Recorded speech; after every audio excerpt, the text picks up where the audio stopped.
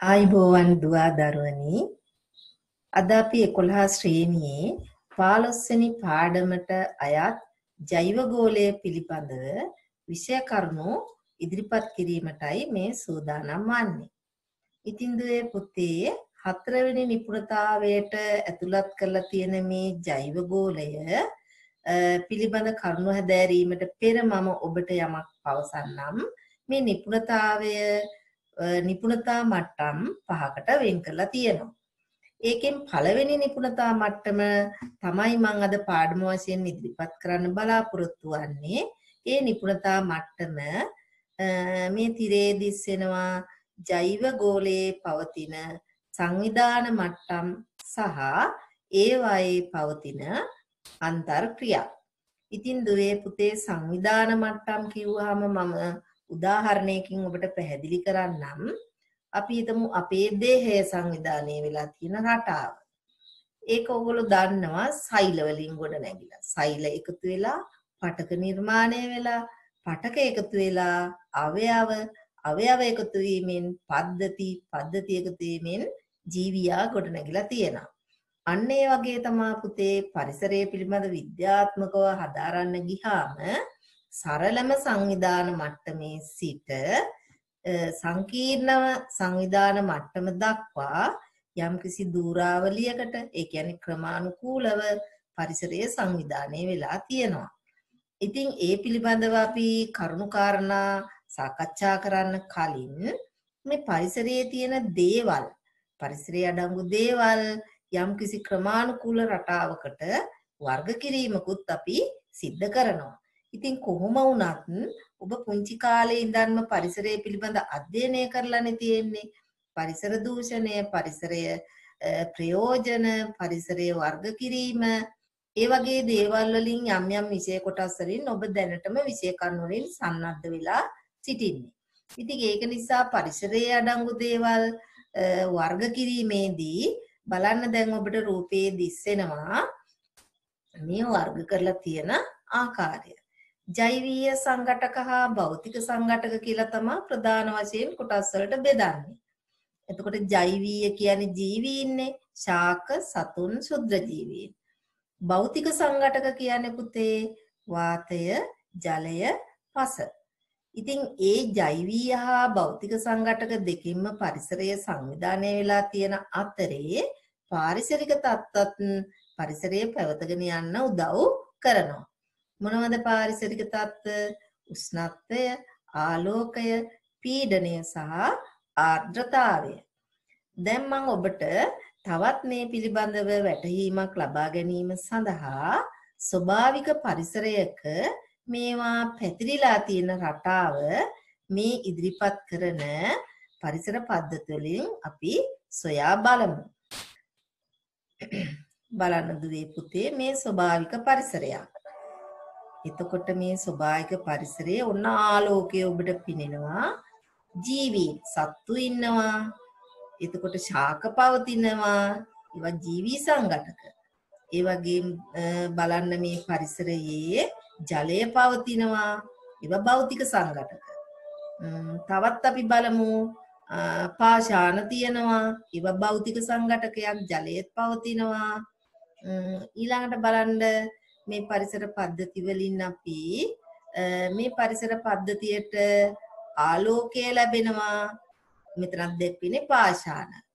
අපි බලමු මේ පරිසර පද්ධතියට ලැබෙන තවත් පාරිසරික තත්ත්වයක් මේ ආලෝකය, ජලය නේද? ඉතින් ඔය විදිහට මේ පරිසරය පුරාම අර මම ඉදිරිපත් කරපු දේවල් මේ තියෙන සුද්ධ ජීවි බීජාණුදානි. හතු කියලා ඔබ හඳුන්වනවා. ඒවත් පරිසරයේ තියෙනවා. ඒවා ජීවී කොටසට අයිති වෙනවා. පාෂාණ ජලය එකම පරිසර පද්ධතියක දකින්න ලැබෙනවා. ඉතින් ඒ අනුව මේ සංඝටක පරිසරයේ පුරා ව්‍යාප්ත වෙලා තියෙන රටාව මේ ආලෝකයේ ලැබෙන ආකාරය ඔබට පැහැදිලි වෙන්න ඇති.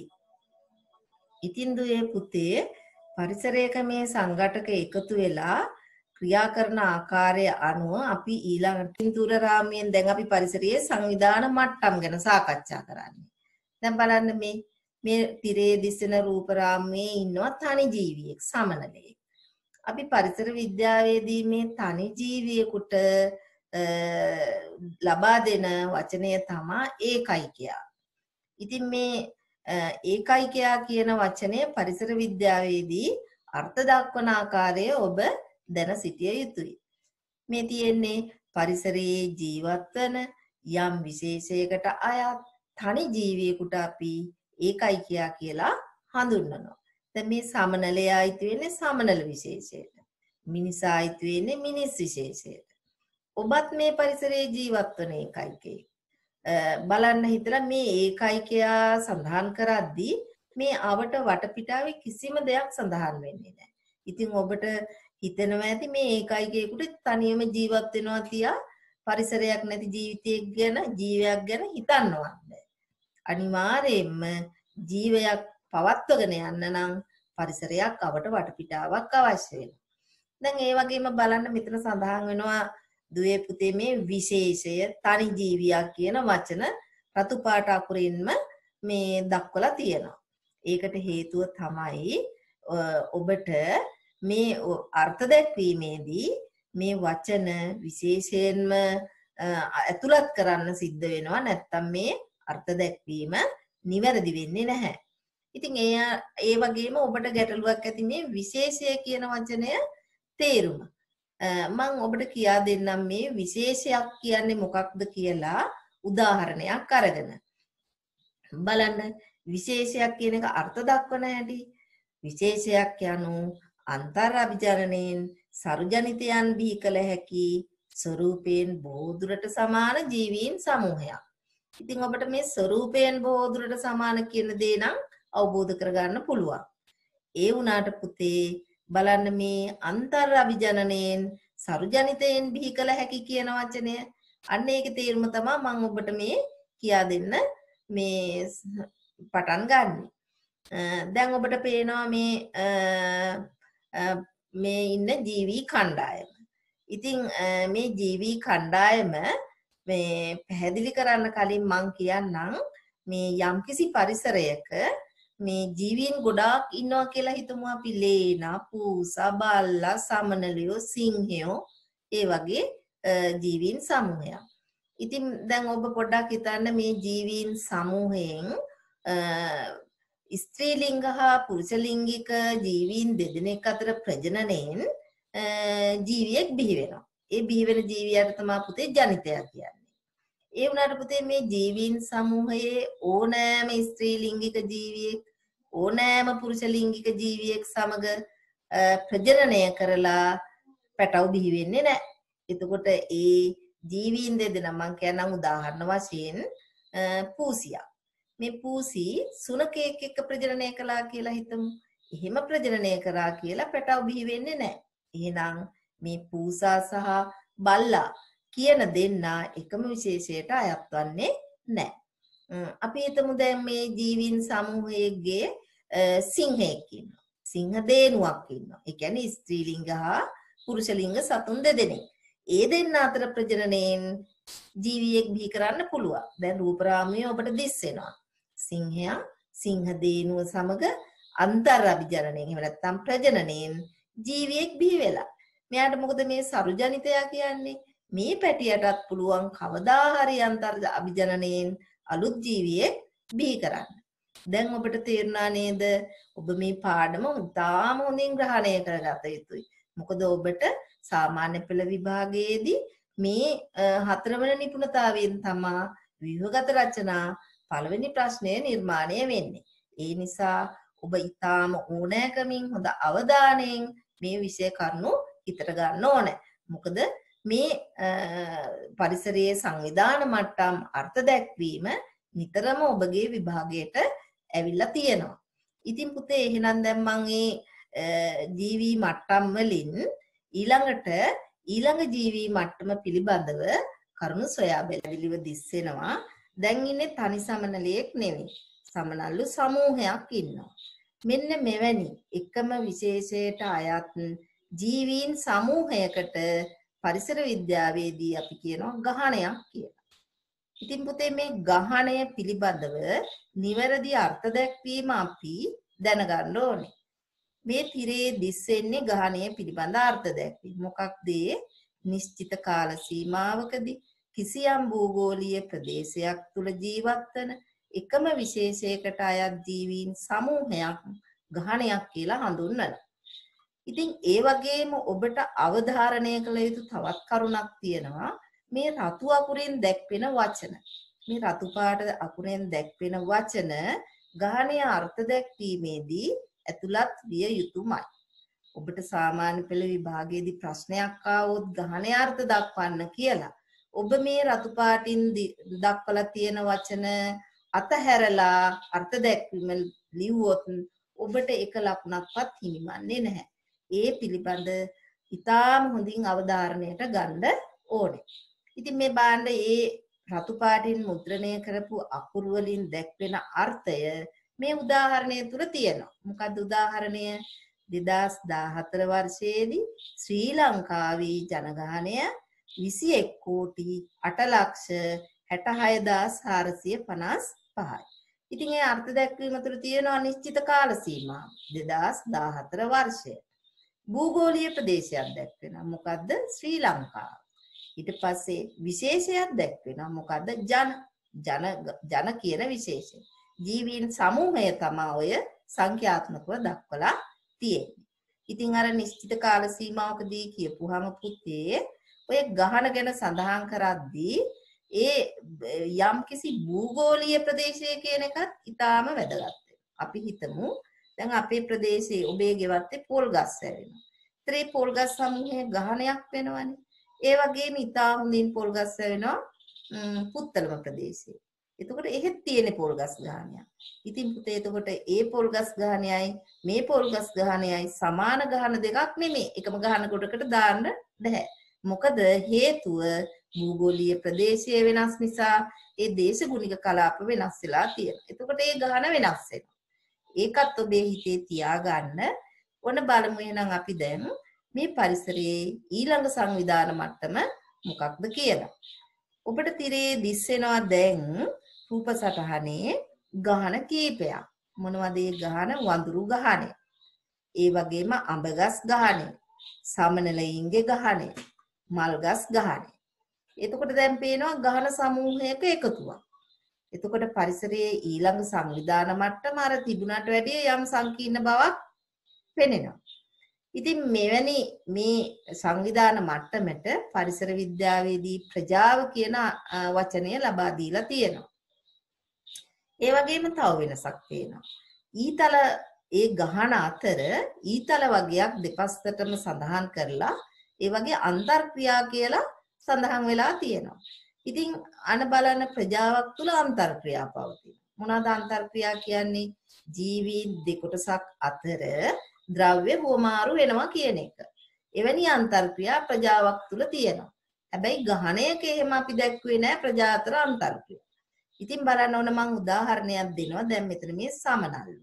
මල් ගහණයත් එක්ක සම්බන්ධ වන අන්තර්ක්‍රියාවක් තමයි ආහාර ලබා ගැනීම. පැණි උරා බීලා මේ සමනල්ලු මල් ගස් වලින් ප්‍රයෝජන ගන්නවා. වඳුරන් ගත්තත් එහෙමයි. ඒ වගේම වඳුරන්ගෙන් පිටවන අපද්‍රව්‍ය මල්ගස් වලට ලැබිලා මල්ගස් අනුසාරව හැදෙනවා. අන්න ඒ නිසා ප්‍රජාව අතර අන්තර්ක්‍රියා පවතිනවා. ගහන සමූහයක් එකතු වෙලා ඉන්න. ඔන්න ඔය වැනි කරුණු ඇතුළත් කරමින් ප්‍රජාව නිවැරදිව අර්ථ දක්වන ආකාරය තිරේ දිස්සෙනවා. අපි ඒකත් බලමු දැන්. කිසියම් ප්‍රදේශයක් තුළ ජීවත් වන එකිනෙකා සමග අන්තර්ක්‍රියා දක්වන විවිධ විශේෂ වලට අයත් ඝන සමූහයක් ප්‍රජාව ලෙස හඳුන්වනවා. එතනත් පුතේ රතු පාටින් දැක්වෙන වචන ප්‍රජාව අර්ථ දැක්වීමේදී සඳහන් කළ යුතුයම බව ඔබ හොඳින් මතක තබා ගන්න. විභාගයට ආවොත් ප්‍රජාව අර්ථ දැක්වීම ප්‍රශ්නයක් ඔබ අනිවාර්යෙන් මේ වචන ඇතුළත් කිරීමට දැඩිව අවධාරණයට ගත යුතුයි. බලන්න ඒකට දීලා තියෙන උදාහරණය සිංහරාජ වනාන්තරයේ ජීවත් වන ශාක ප්‍රජාව. ඒ කියන්නේ ඒ යම්කිසි ප්‍රදේශයක් ඒක. ඒ ප්‍රදේශයේ ජීවත් වෙන ශාක ප්‍රජාව. ඕනනම් මට කියන්න පුළුවන් කඩලාන ශාක ප්‍රජාව. ඕනනම් කියන්න පුළුවන් වෙරළබඩ ශාක ප්‍රජාව. ওই විදිහට පරිසරයේ විවිධ ස්ථානවල ප්‍රජා දක්නට ලැබෙනවා. අපි බලමු ඊළඟ සංවිධාන මට්ටම මොකක්ද කියලා. ඔබට දැන් රූපයේ දිස්සෙනවා ඊළඟ සංවිධාන මට්ටම. ඉතින් පුතේ මේ බලන්න අර ඉස්සල්ලා දක්වපු සංවිධාන මට්ටම් වලට වඩා යම්කිසි වෙනසක් ඔබටත් පෙනෙනවා ඇති. මොනවද වාතය, ජලය, පස කියලා සඳහන් වෙලා තියෙනවා. ඉතින් කලින්ම මම කිව්වා මේ වාතය, ජලය, පස කියන සංඝටක හඳුන්වන පොදු නම. ඔබ මෙනෙහි කරන්නේ පොදු නම තමා භෞතික සංඝටක. ඉතින් එහෙනම් දැන් මේ පරිසර පද්ධතියට ඔන්න මේ ආපු රූප සටහනට අපි විද්‍යාවේදී ලබා දෙන්නේ පරිසර පද්ධතියක් කියලා මේ සංවිධාන මට්ටමට. එතකොට ප්‍රජාවකට වැඩිය පරිසර පද්ධතියේ තියෙන වෙනස තමා භෞතික පරිසරයත් එකතු වෙලා තියෙනවා. එතකොට අපි බලමු මේකේ අර්ථ දැක්වීම. කිසියම් ප්‍රදේශයක ජීවත් වන සියලුම ප්‍රජාවද ඒවා සමග අන්තර්ක්‍රියා දක්වන භෞතික පරිසරයද එක්වගත් කල අපි කියනවා පරිසර පද්ධතියක් කියලා. පුතේ මේ කලින් සඳහන් කළ ඒකයිකයක් ගහණය ප්‍රජාව කියන පරිසර සංවිධාන මට්ටම් පරිසරයේ වෙන් කරලා වෙන් කරලා තැන් තැන්වල දැම්මොත් එවැනි සංවිධාන මට්ටම් වලට තනියම ජීවත් වෙන්න බෑ. නමුත් පුතේ පරිසර පද්ධතියකට පරිසර පද්ධතියක් වෙන් කරලා ගත්තොත් තනිවම ජීවත් වීමේ හැකියාව තියෙනවා. මොකද භෞතික පරිසරයේ උදව් උපකාර ලබා ගන්න නිසා. මොනවද මේ වගේ තියෙන අන්තර්ක්‍රියා? ඕ මෙතන ඉන්න ප්‍රජා කියලා අපි හොයලා බැලුවොත් බලන්න මෙතන ඉන්නවා සමනලයින්ගේ ගහණයක්. එතකොට මෙතන ඉන්නවා මත්ස්‍යයින්ගේ ගහණයක්. මෙතන තියෙනවා මුව ගහණයක්. මෙතන තියෙනවා ජලජ ශාක ගහණයක්. එහෙනම් ගහන ගොඩක් එකතු වුනහම ප්‍රජාවක් වෙනවා. එතකොට මේ ප්‍රජා අතර අන්තර්ක්‍රියාත් අපි සලකා බලමු. උදාහරණයක් වශයෙන් දැන් මේ සමනලයා ආහාර ඉල්ලා ගන්නවා මේ මල් ගස්වලින්. ඉතින් ඒක අන්තර් සම්බන්ධතාවය. ඊට පස්සේ අපි බලමු මේ ගෙම්බෙක් ඉන්නවනේ මේ පරිසරේ. මේ ගෙම්බා මෙතන බත් කූරෝ අල්ලගෙන කනවා. ඒකත් අන්තර් සම්බන්ධතාවය. අපි බලමු පොකුණේ ඉන්න ජලජ ශාක. ඒ ජලජ ශාක මේ ජලයෙන් ඔක්සිජන් ඉල්ල ගන්නවා. ඒ වගේම පසට සවි වෙනවා. පස කියන්නේත් භෞතික සාධකයක්. ඊට පස්සේ ඔන්න ඔවැනි අන්තර් සම්බන්ධතා ඉතා හොඳින් පරිසර පද්ධතියේ දකින්න ලැබෙනවා. ඉතින් පුතේ මේ පරිසර පද්ධති වල අර්ථ දැක්වීමෙත් තියෙනවා කිසියම් ප්‍රදේශයක කියලා. ඒ කියන්නේ පරිසර පද්ධති ප්‍රදේශයෙන් ප්‍රදේශයට වෙනස් වෙනවා. හේතුව තමයි කාලගුණය, දේශගුණය වෙනස් වෙන නිසා. අපි විවිධ ප්‍රදේශවල පවතින පරිසර පද්ධති පිළිබඳව කරුණු හැදෑරීම සඳහා අපි බලමු උදාහරණ ටිකක්. දැන් ඔබට පේනවා ඇති මේ තියෙන්නේ වනාන්තර පරිසර පද්ධතියක්.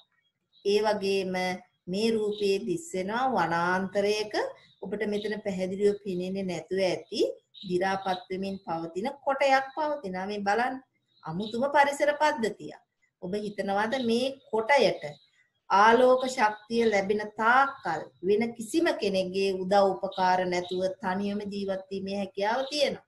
මොකද භෞතික පරිසරයත් මෙතන තියෙනවා, ජෛව පරිසරයත් මෙතන පවතිනවා. ඊට පස්සේ අපි ඊළඟට තවත් පරිසර පද්ධතියක් බලන්න මේ වැව් පරිසර පද්ධතිය. මෙතනත් අර පරිසර පද්ධතියේ තිබිච්ච සියලුම සාධක ලැබෙමින් පවතිනවා. මේ තියෙන්නේ තිබ්බිම් ආශ්‍රිත පරිසර පද්ධතියක්.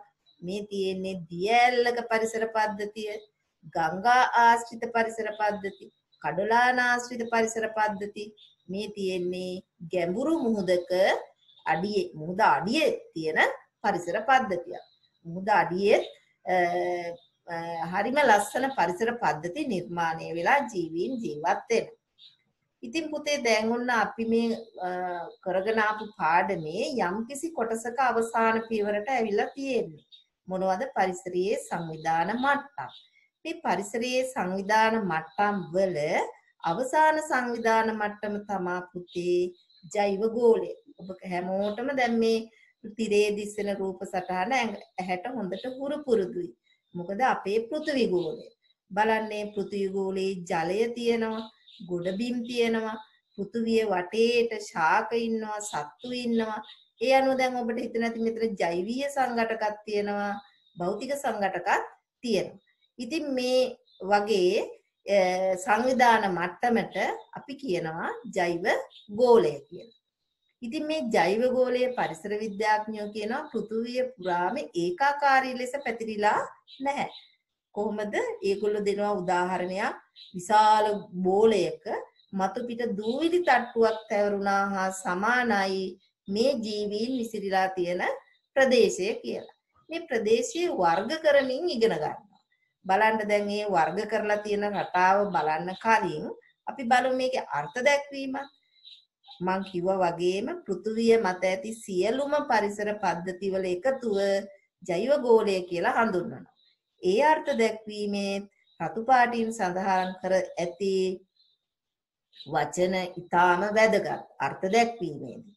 ඉතින් අර කලින් කිව්වා වගේ මේ ජෛව ගෝලයේ ඒ කියන්නේ මේ පරිසර පද්ධති ව්‍යාප්ත වෙලා තියෙන ප්‍රදේශ මෙන්න මේ ආකාරයට වර්ග කර දක්වන්න පුළුවන්. බලන්න කොහොමද වර්ග වෙලා තියෙන්නේ? ශිලාගෝලය. ශිලාගෝලය කියන්නේ පස් හා පාෂාණ. ජලගෝලය. ජලගෝලය කිව්වම ඔයගලන්ට තේරෙනවා ඒ ජලය. ජලයේ ජීවය තියෙනවානේ. ඊළඟ වායුගෝලය. මේ විදිහට වායුගෝලය, ශිලාගෝලය, ජලගෝලය සියල්ල මේකට එකතු වෙලා ඒ සීමාවන් තුල මේ ජෛව ගෝලය පවතින. මේ සීමාවන් වල උනත් පුතේ හැකිතරම් ව්‍යාප්ත වෙලා නැහැ. යම්කිසි ප්‍රදේශ ප්‍රමාණයකට පමා තමා ව්‍යාප්ත වෙලා තියෙන්නේ. මේ බලන්න ශිලා ගෝලයේ කබුලහා ප්‍රාවරය තුල මීටර් 10ක් වගේ ගැඹුරට තියෙන්නේ. ජල ගෝලයේත් මීටර් 1000ක් විතර වායු ගෝලයේත් මීටර් 1000ක් විතර ව්‍යාප්ත වෙලා තියෙනවා. ඔබ විභාගයේදී මේ සංඛ්‍යා පාඩම් කිරීම අවශ්‍ය වන්නේ නැහැ. නමුත් දැනගන්න ඕන ජෛව ගෝලය, ශිලා ගෝලය, ජල ගෝලය, වායු ගෝලය කියලා කොටස් වලට බෙදලා අධ්‍යයනය කරන බව. ඉතින් ඒ වගේම අපි බලමු මේ ජෛව ගෝලයේ නැති ප්‍රදේශ මොනවද කියලා. ගිනි කඳු විවර, ද්‍රව ප්‍රදේශ, ඉහළම උන්නතාංශ මොනවද ඉහළම උන්නතාංශ කියන්නේ පුතේ? එවරස්ට් මුදුන වගේ මුහුදු මට්ටමේ සිට ඉතාම ඉහළින් තියෙන ප්‍රදේශ ද්‍රව ප්‍රදේශ අධික සීතලයි ඔන්න ඔය ප්‍රදේශ ජෛව ගෝලයට අයත් වන්නේ නැහැ. ඔබට තේරුණා නේද දැන් මේ විෂය කරුණු. අපි සංවිධාන මට්ටම් දැන් අවසාන සංවිධාන මට්ටමටත් සංවිධාන මට්ටමෙත් කරුණු ගොනු කරා. දැන් අපි මේක පිළිවෙලට ගොඩනැගිලා තියෙන රටාව බලමු.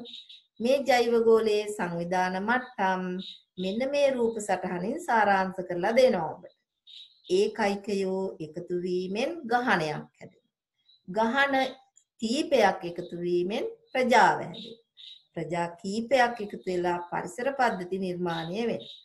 පරිසර පද්ධති සමූහයක් එකතු වෙලා ජෛව ගෝලය නිර්මාණය වෙනවා. ඉතින් ඒ වගේම අපි බලමු මේක රූප සටහනකුත් රූප සටහනකිනුත් ඔබට පැහැදිලි කරන්න. ඔන්න මාළුවෙක් ඉන්නවා. ඒකයි කියන්නේ. මාළුව සමූහයක් එකතු වෙලා ගහණය හැදෙනවා. ඊට පස්සේ බලන්න ගහන ගහන ගොඩක් එකතු වෙලා කවුද මාළු ජලජ පැලෑටි මෙතන ඉන්නවා ජෙලිෆිෂ් කෙනෙක් ඒ වගේම කපුළුවෙක් වගේ එකෙක් ඉන්න උන් එකතු වෙලා ප්‍රජාවක් හැදෙනවා. එවැනි ප්‍රජා එකතු වෙලා පරිසර පද්ධති බිහි වෙලා පරිසර පද්ධති එකතු වෙලා ජෛව ගෝලය නිර්මාණය වෙලා තියෙනවා. ඔබට පැහැදිලි වෙන්නේ නැතයි කියලා මම හිතනවා. ඉතින් ඔන්න ජෛව ගෝලයේ සංවිධාන මට්ටම් යම්කිසි දූරාවලියකට පිළියෙල කරලා තියෙනවා ඔබ හොඳින් එය මතක තබා ගත යුතුයි. ඉතින් පුතේ ඒ වගේම ඊළඟට මේ පාඩමේ ඔබට පැහැදිලි කරගත යුතු විෂය කොටසක් තියෙනවා මේ ගහණයක වර්ධනය පිළිබඳව. සාමාන්‍යයෙන් මම උදාහරණයක් ගත්තොත් එහෙම ගහණයක් වර්ධනය වෙන්න මුල පුරපු අවස්ථාවේ ඉඳන් කාලය ගත වීමත් සමගම යම්කිසි රටාවකට වෙනස් වෙන බව පරිසරවේදීන් අධ්‍යයනය කරලා තියෙනවා. ඒක ගැන ඉගෙන ගන්න කලින් අපි මේ ගහන ඝනත්වය කියන්නේ මොකක්ද කියලා අවබෝධයක් තියෙන්න ඕනේ. මේ බලන්න රූප මේ තිරේ දිස්සෙනවා තෝරාගත් වාසභූමියක ඒකක වර්ගඵලයක් තුල විසෙන යම් විශේෂයකට අයත් ජීවීන් සංඛ්‍යාවකට අපි කියන්නේ ඝන ඝනත්වය කියලා. මම මේක තවදුරටත් පැහැදිලි කළොත් පුතේ අපි හිතමු මීටර් රූල් හතරක් අරගෙන හතරස් කොටුවක් හැදුවා කියලා. ඒ හතරස් කොටුව අරගෙන ගිහිල්ලා අපි ස්වභාවික පරිසරයක අහම්බු ලෙස විසික් කරනවා. ඒ විසික් කරාට පස්සේ අපි ගිහිල්ලා ඒක ඇතුලේ තියෙන යම් විශේෂයකට අයත් මං කියන්නම් මොනර කුඩුම්බිය පැලෑටි කීයක් තියෙනවද කියලා ගණන් කරනවා. අපි හිතමු මොනර කුඩුම්බිය පැලෑටි තිබ්බේ 3යි කියලා. අන්න බලන්නේ ඒකක වර්ගඵලය තුල මොනර කුඩුම්බිය ගහන ඝනත්වය 3යි කියලා සඳහන් කරනවා. ඉතින් ඔය විදිහට බලපුවාම මේ ගහන ඝනත්වය කියන්නේ ඒකක වර්ගඵලයක් තුල තියෙන ජීවී විශේෂ සංඛ්‍යාව කිව්වනේ. අපේ ශ්‍රී ලංකාව ගහන ඝනත්වයෙන් අනුන රටක්. මොකද හොඳ ස්වභාවික පරිසරයක් උරුම වෙලා දේශගුණික සාධක හොඳින් ලැබෙනවා. අපි හිතුවොත් සිංහරාජ වනාන්තරයට ගියොත් එක ළඟ එක ළඟ එක ළඟ එක ළඟ වනාන්තරය ඇවිදින්න බැරි තරම් ගස් එක ළඟ එක ළඟ වර්ධනය වෙනවා. ගහන ඝනත්වය වැඩි. නමුත් අනුරාධපුර දිහා වනාන්තරයකට ගියොත් අපිට ඒ කැලේ අතරින් ඇවිදගෙන යන්න පුළුවන්. ගහන ඝනත්වය අඩු. මොකද ඒ හරියේ දේශගුණික සාධක ඒ තරම් ශාකවලට හොඳට හිතකර තත්වයක පවතින්නේ නැහැ. ඉතින් දැන් මේ ගහණයක තියෙන සංඛ්‍යාව අඩු වැඩි අපි බලමු ගහණයේ සංඛ්‍යාව අඩු වැඩි වෙන්න බලපාන සාධක මොනවද කියලා. ඔබගේ පෙළ පොතෙත් මේ රූප සටහන සඳහන් වෙනවා. ඒ අනුව අපි මේක පොඩ්ඩක් විස්තර කළොත් මේ ඉන්නේ කුරුළු ගහණයක්. මේ කුරුළු ගහණයේ සංඛ්‍යාව වැඩි වෙන්න බලපානවා අලුතෙන් අලුතෙන් උපදින කුරුළු පැටව්. ඒ අය ගහණයට එකතු වෙනවා. ඒතර ගහන ඝනත්වය වැඩි වෙනවා. අනිත් සාධකය තමයි වෙන කොහේ හරි ඉන්න ගහණයකින් මෙතෙන්ට කුරුල්ලෝ එනවා. අපි ඒකට කියන්නේ ආගමනය කියලා. ඒ කියන්නේ උපත් සංඛ්‍යාවයි ආගමනයයි ගහණේ ඝනත්වයේ වැඩි වෙන්න බලපාන. ඒ වගේම බලන්න ඒ ගහණේ ඉන්න සත්තු මැරෙන්න ගියාමත් ඒ ගහණයෙන් සත්තු පිට වෙලා යන්න ගියාමත් පිට වෙලා යන එකට කියන්නේ විගමනය. මරණ හා විගමන මගින් මොකද වෙන්නේ? ගහණේ ඝනත්වය අඩු වෙලා යනවා. ඒ අනුව ගහන ඝනත්වයට බලපාන සාධක උපත් මරණ ආගමන හා විගමන. ඉතින් ඔය වගේ කරුණුකාරණා අනුව ස්වභාවික ගහණයක සංඛ්‍යාව යම් කිසි රටාවකට වෙනස් වෙන බව පරිසරවේදීන් අධ්‍යයනය කරලා තියෙනවා. ඒ කියන්නේ ස්වභාවික පරිසර පද්ධති කීපයක්ම අරගෙන කාලයත් සමග ගහණයේ සංඛ්‍යාව වෙනස් වෙන රටාව බලපුවාම පොදු රටාවකට තමා ගහණයේ සංඛ්‍යාව වෙනස් වෙන්නේ. ඒ වගේම දැන් අපි බලමු එක ඒ වගේ ප්‍රස්ථාරයකට අපි කියන්නේ ගහන වර්ධන වක්‍රයක් කියලා. මේ තියෙන්නේ දර්ශීය ගහන වර්ධන වක්‍රයක්. ඒ දර්ශීය කියන්නේ පුතේ මේ ගහණයක තිබිය යුතු සෑම සාධකයක්ම තියෙන ගහන වලට අපි කියනවා දර්ශීය ගහන කියලා. නමුත් අපි මිනිස් ගහණය බලමු. මිනිස් ගහණය කියන එක ස්වභාවික නෑ. ස්වභාවිකව පැවතගෙන එන්න ඉඩ නොදී මිනිසා විසින්ම වෙනස් කරලා තියෙනවා. ඒ නිසා ඒකට දර්ශීය ගහන කියන්න යන්නෙත් නෑ. ඒ අනුව ගහන වර්ධන වක්‍ර දෙකයි එකක් දර්ශීය ගහන වර්ධන වක්‍රය අනික මානව ගහන වර්ධන වක්‍රය. කාලයත් සමග මේ ගහනයේ වර්ධනය වෙනස් වන ආකාරය ප්‍රස්ථාරගත කරලා තියෙන ආකාරය බැලුවොත් මෙන්න මෙවැනි රටාවක් පවතිනවා. එක්සක්ෂයෙන් දැක්වෙන්නේ කාලය. කාලය ගෙවි ගෙවි යද්දී ජීවීන් සංඛ්‍යාව වෙනස් වෙන එක ප්‍රස්ථාරයේ නිල් පාට රේඛාවකින් දැක්වෙනවා. ඒතර මේ ප්‍රස්ථාර දෙක හොඳින් බැලුවොත් වෙනස්කම් තියෙනවා. බලමු අපි මේ දෙකේ මොනවද මේ වෙනස්කම් කියලා. හැඩය වෙනස්. දර්ශීය ගහන වර්ධන වක්‍රය S අකුරක හැඩය ගන්නවා. මානව ගහන වර්ධන වක්‍රය J අකුරක හැඩය ගන්නවා. ඒ වගේම බලන්න අවධි හතරකට වෙන් වෙලා තියෙනවා දර්ශීය ගහන වර්ධන වක්‍රයක්. මානව ගහන වර්ධන වක්‍රය පවතින අවධි දෙකකට සීමා වෙලා. අනිත් කරුණ තමා මේ ඉසිලීමේ ධාරිතාවට පැමිණ ඇත. මානව ගහන වර්ධන වක්‍රයේ ඉසිලීමේ ධාරිතාවයට පැමිණිලා නැහැ සීග්‍රයෙන් වර්ධනය වන අවධියේම පවතිනවා කියනවා. ඉතින් අපි දැනගන්න ඕනේ මේ ඉසිලීමේ ධාරිතාව කියන්නේ මොකක්ද මේ කියලා. එතකොට අපි ඒක තවදුරටත් සාකච්ඡා කරමු මේ එක එක ගහන වෙන් වශයෙන් අරගෙන. අපි ඉස්සල්ලාම දර්ශීය ගහන වර්ධන වක්‍රය සලකමු. ඒ ගහන වර්ධන වක්‍රයේ මේ අවදි කොහොමද බෙදා වෙන් කරලා තියෙන්නේ කියලා බලමු. එතකොට දැන් මේ දර්ශීය ගහන වර්ධන වක්‍රයේ අවදි පළවෙනි අවදිය. මේ පළවෙනි අවදිය නම් කරන්නේ ගහණය සෙමින් වර්ධන වන අවදිය කියලා. එතකොට ඇයි මේ සෙමින් වර්ධනය වෙන්නේ? මම මේකට උදාහරණයක් ගන්නම් මුලින්ම අපි උදාහරණයක් වශයෙන් ගමු ලොකු කොස් ගහ. මේ කොස් ගහේ දැන් කොස් ගහ පළදරන කාලය ආවහම මුලින්ම කොස් ගෙඩි හැදෙන්නේ එක දෙක හැදිලා ඉස්සරලාම වැඩි කොස් පැහෙන්නේ නැහැ. එක දෙක තමයි කොස් පැහෙන්නේ. ඒ කොස් ගෙඩි පැහිලා ඉදිලා ගහයට වැටෙනවා. එතකොට මේ ගහයට වැටෙන ඇට වලින් එතන බීජ රෝපණය වෙලා කොස් පැල හැදෙනවා. ඉතින් කාලයක් යනකම් කොස් පැල 1 2 3 ආදී වශයෙන් ගහයට දකින්න ලැබෙනවා. අන්න ඒ අවධිය තමයි ගහණයේ සෙමින් වර්ධන වන අවධිය. මොකක්ද ඒකට හේතුව? අර කොස් ගෙඩි ඔක්කොම මෝරලා නැහැ. ඒ කියන්නේ පරිණත කොස් ගෙඩි නැහැ. සීමිත සංඛ්‍යාවයි තියෙන්නේ. අනිත් එක තමයි අර හැදෙන කොස් ගෙඩි මෝරන්න කලින් මේවා පරිසරයට අනුවර්තනය වෙලා නැතුව මේවා මේරීමට ලක් වෙන්නේ නැතුව දිලීර රෝග හැදිලා ඒ වැනි තත්ත්ව හන්දා ගහනේ හෙමින් වර්ධනය වෙනවා.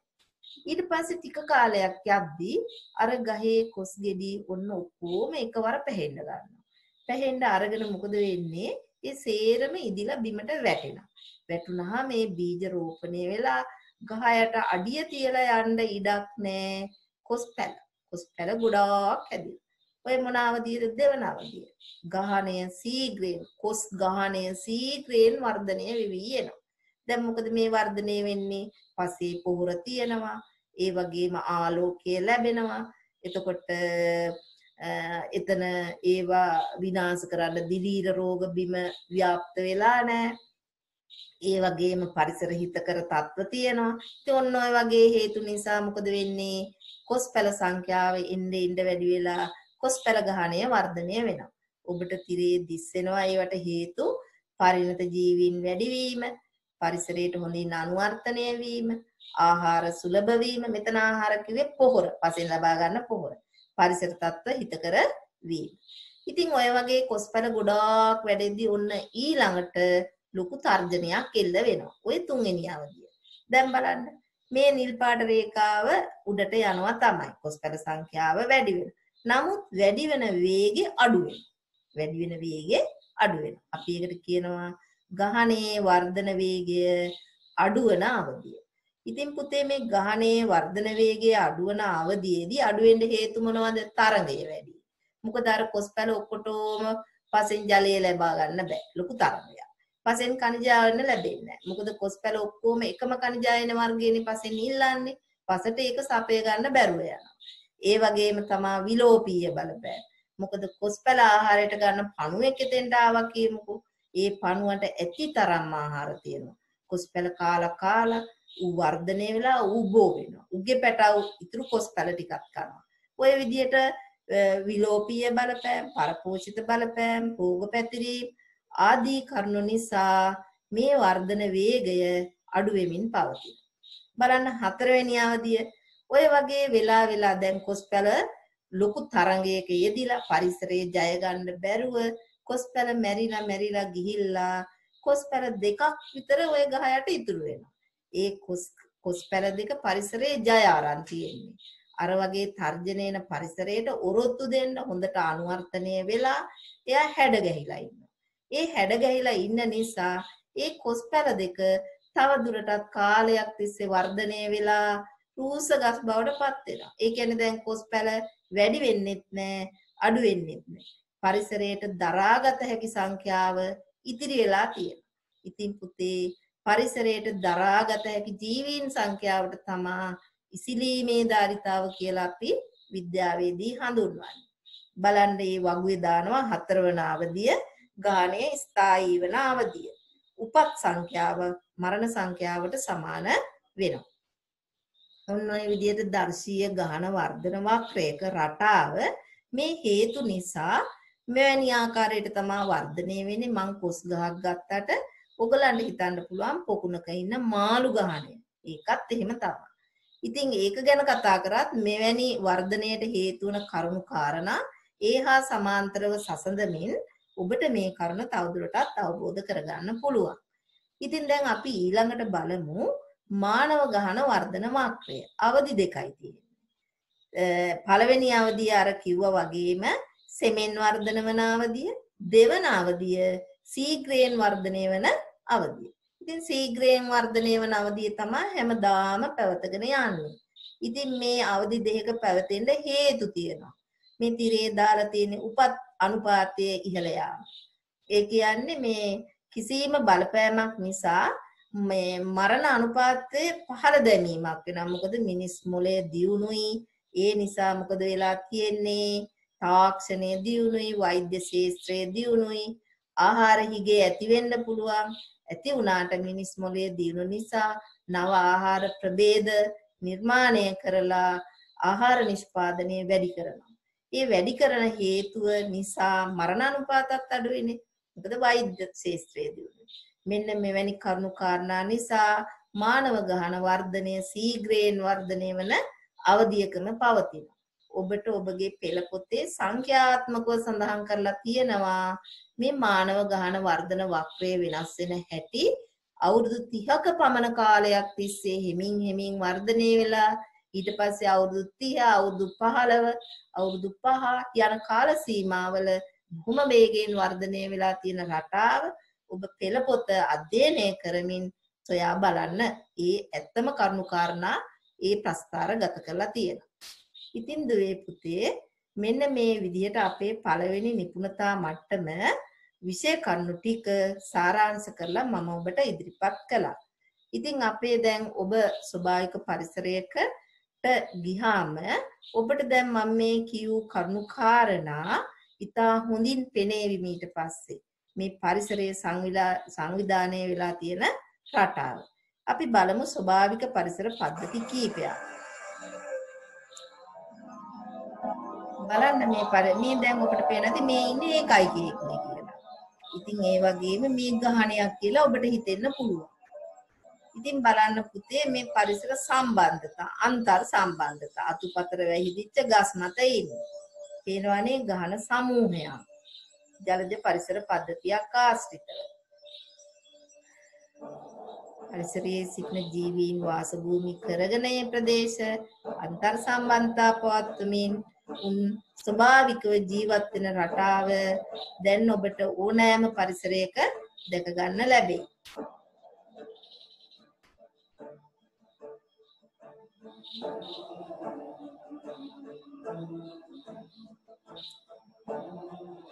ජීවීන් අතර තරඟය ඇති වෙන රටා. මෙවැනි සතුන් කුසගින්නේ පෙළෙන ආකාරය. එවැනි කරුණු ඔබේ විෂය මාලාවේ පරිසරයේ පාඩමේ ගැබ්බෙනවා. ඉතින් පුතේ දැන් ඔබ මේ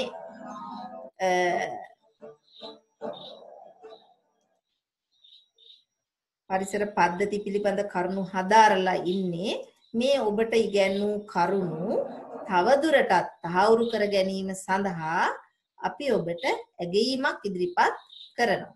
මේ බලන්න මේ ඇගීම ඔබ තනියෙන්ම අධ්‍යයනය කරලා මේවට පිළිතුරු සපය ගන්න. මේ දෙවෙනි ප්‍රශ්නය දීලා තියෙන්නේ පරිසර පද්ධතියක් ආශ්‍රය කරගෙන. මේ පරිසර පද්ධතිය තුළින් ඔබ මේ ප්‍රශ්න වලටත් පිළිතුරු සපය ගන්න. ඔබ ඔබගේ විභාගයට මේ මං ඉදිරිපත් කළපු කරුණු කාරණා වලින් විශාල දැනුමක් ලබා ගන්න ඇති ඒවා හොඳින් මතක තබා ගන්නවා වගේම පුතේ අපි ඉපදිලා මිය යනතුරු අපි ජීවත් වෙන්නේ මේ ස්වභාවික පරිසරයේ මෙවැනි පරිසරයක් ඊටාම සොඳුරු පරිසරයක්. ඒක නිසා ඒ ආස්වාදය ඔබේ හදවතට ඇතුල් කරගන්න ඔබත් මිනිසෙක් වශයෙන් මේ පරිසරය ආරක්ෂා කරමින් ජීවත් වෙන්න ඔබේ මානසික මට්ටමත් එවැනි ආකාරයකට වෙනස් කරගන්න. ඔබට මේ පාඩම් තුළින් යම් යම් කිසි විභාගයේ වෙනුවෙන් රුකුලක් ලැබුණා නම් ඒ තමා මේ පාඩම ඉදිරිපත් කිරීමේ බලාපොරොත්තුව ඉතින් දුවේ පුතේ ඔබට එළඹෙන විභාගයේදී උසස් ජය ලබා ගැනීම සඳහා මමත් ආශිර්වාද කරනවා. ස්තුතියි.